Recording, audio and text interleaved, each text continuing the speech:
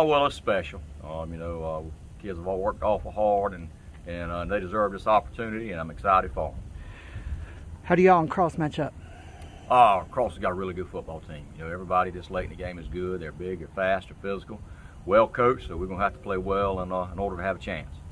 Well, that's certainly something you did Friday night, play well in your win over Lamar. Just what sticks out from that game looking back?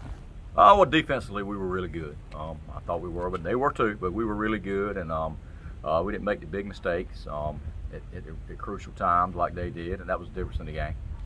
You know, what things are you going to be asking out of Malik for um, Friday's game? Uh, well, you know, Malik just needs to, to, run the offense, take care of the ball, and be our general out there and get us lined up right, and uh, and uh, give us a chance to run the play like it's like it's designed. And Daquan, just what kind of what kind of roles can he play as a threat and as a decoy? Uh, you know what Daquan's good. You know, everybody knows uh, as he goes, we go. So I'm sure a lot of eyes on him, have been all year. Um, but uh, we've been making this thing work uh, so far, so maybe we've got a couple more times in us. Do, does that present a problem sometimes for the defenses when they don't know who to key on, whether Malik can make a big play or Daquan making a big play, or?